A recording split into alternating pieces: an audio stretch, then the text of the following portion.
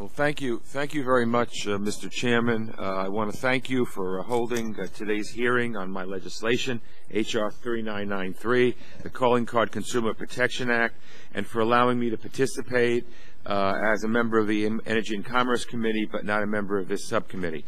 Uh, I would also like to welcome Commissioner Acampora from my home state of New York for attending this hearing as well.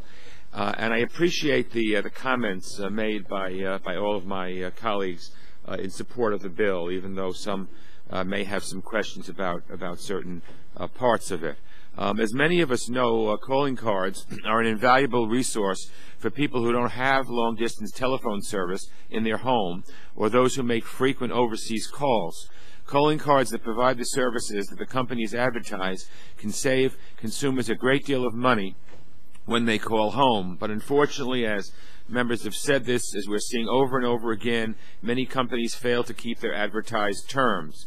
About three years ago, I began hearing from a number of constituents regarding their prepaid calling cards. They were contacting me because their calling cards failed to provide the number of minutes that were advertised.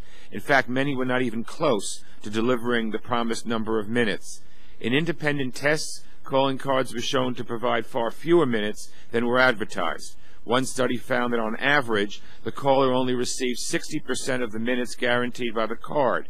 I recently read that the prepaid calling card industry takes in $4 billion a year in revenue. If the cards are only providing 60% of the minutes, we can all do the math. This deception is costing consumers and honest companies hundreds of millions of dollars a year.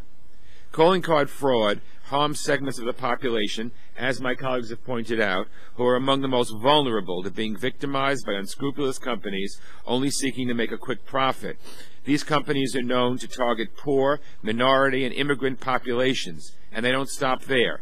Even our soldiers in Iraq and Afghanistan have been preyed upon by deceptive, deceptive practices of calling card companies. My legislation would put a stop to these practices. It would also provide that the government is able to enforce the legislation to try to get rid of the dishonest companies. Calling cards are an extremely useful product for consumers, and I don't want to see honest companies punished. There's absolutely no reason why a company cannot deliver what is promised and still turn an honest profit. If consumers know that the card they purchase will provide the full amount of calling time that's advertised, this will benefit both consumers and the marketplace.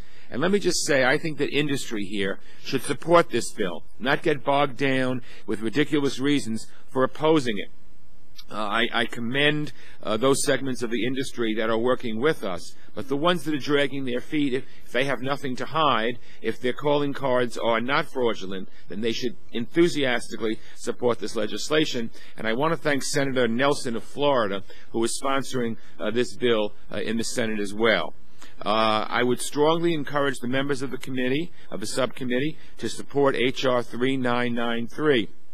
Um, I will show a flexibility in, in working with members to see if we can all come to a to a, a, conclusion. But we don't want to water down the bill so much that it becomes ineffective. So I think that's the counter to what some of my uh, colleagues have pointed out. But I do appreciate the um, the bipartisan support for this bill, and uh, I strongly urge members of the committee to support it. And I thank you again, Mr. Chairman, for holding this hearing today and allowing me to participate as a subcommittee member. And I yield back the balance of my time.